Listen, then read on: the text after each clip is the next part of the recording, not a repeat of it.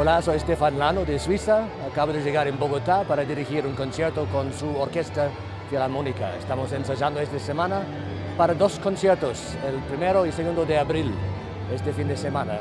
Programa de George Gershwin, un americano en París, Richard Wagner, el idilo de Sigfrido y la segunda sinfonía de Sergei Rachmaninoff. Los espero. Chao.